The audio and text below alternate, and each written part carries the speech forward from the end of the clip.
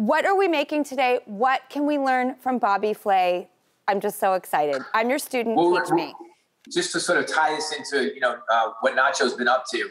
One of his secret ingredients in his in his food is bone broth. So we're going to make a shrimp pasta utilizing shrimp broth to really bring in lots of flavor. Uh, you take the shells, you put some water in, some tomato paste, some some aromatics like onions, whatever, and then and then in about a half an hour, you have very very flavorful shrimp shrimp broth, and it's free. It comes with the shrimp, so you might as well use it, and it, and you have great flavor. So we're going to start with the pasta. Now, there's a rumor out there that you don't like the shape of orecchiette. Is that true?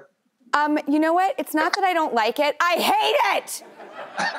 really? I don't get it. Why? Don't, because I'm like it's literally, I'm like, don't give me all that carbohydrate without being able to like string the noodles. I don't know, they just really irritate me. But you're you, Bobby you, you just don't like the shape of it. You don't like the shape of it. I don't I don't like the mouth feel. I I but you're Bobby Flay. So I was like, guess what? If anyone's gonna like turn my orecchiette story around, it's gonna be you. That's a lot of pressure, Drew. I know. I'll, I'll take the challenge. I know. I'm a dramatic girl, Bobby. You know that.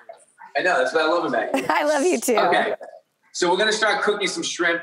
Uh, we have some salt and pepper, and we're gonna put the shrimp right in the pan.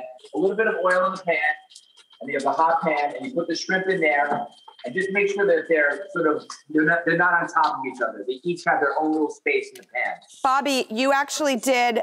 Um, we have a clip here, a tape clip and I'm really excited because it's very informative about said shrimp. I'm gonna roll that really quickly so everybody can watch it. Perfect.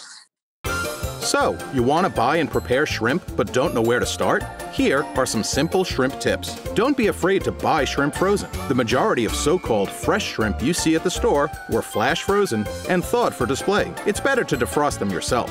As for pre-cooked shrimp, just say no. They tend to be dry and bland when added to dishes. You can buy shrimp in three varieties. Shell on, which costs the least but can take more time to prep. Easy peel, which have been split and deveined, and pre-peeled shrimp are easiest to prep, but pricier. Now, let's get those shrimp prepped. To thaw frozen shrimp, place in a bowl under cold, not warm, running water for just a few minutes, then dry. Devein the shrimp with a paring knife or shrimp deveiner. And those are our simple shrimp tips. Enjoy your crustacean creations.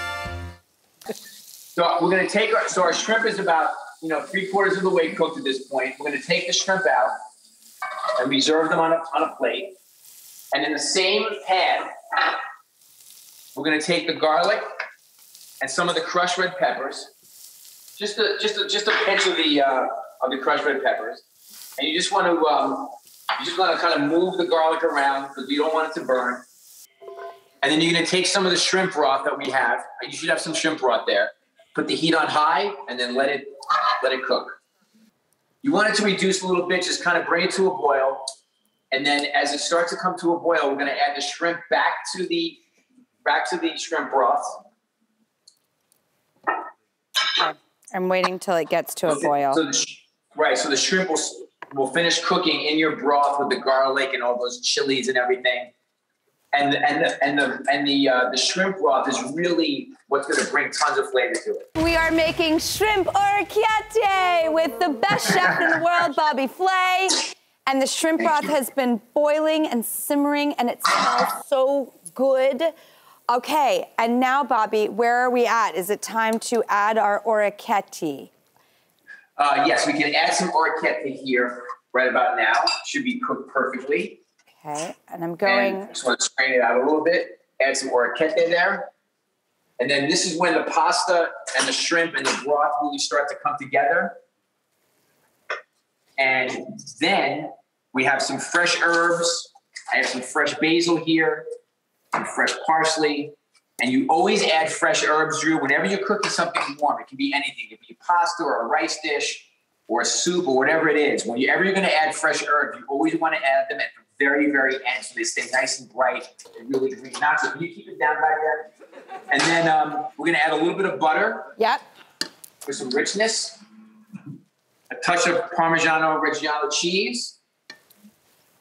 Um, now, Bobby, I actually learned a very tough lesson the first time I was with your girl, Giada.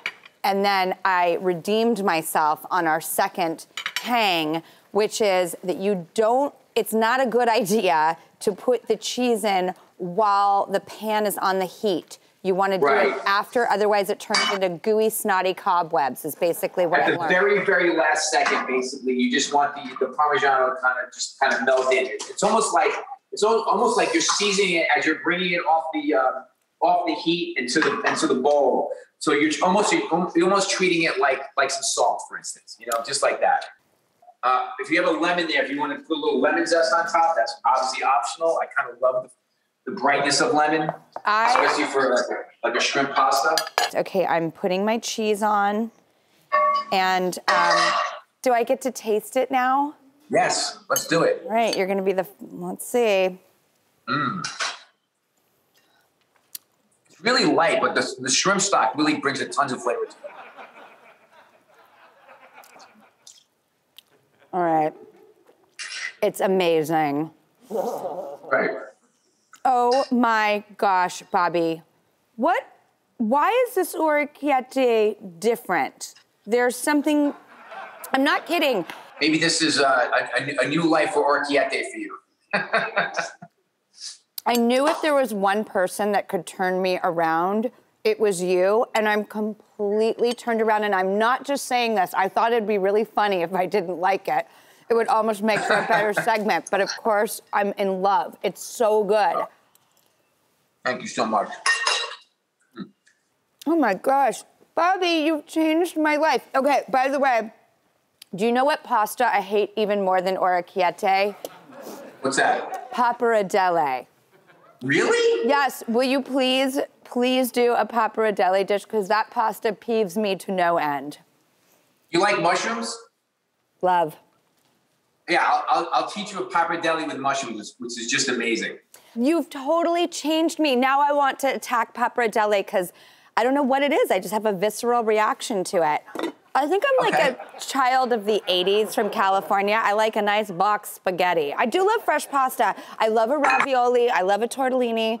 Okay, Bobby, I hear that we have a little surprise for our kittens who are up for adoption. Yes, at Brooklyn uh, Animal Action. So Nacho is uh, graciously donating uh, a bunch of food to uh, to the Brooklyn Animal Action uh, because uh, we want to support.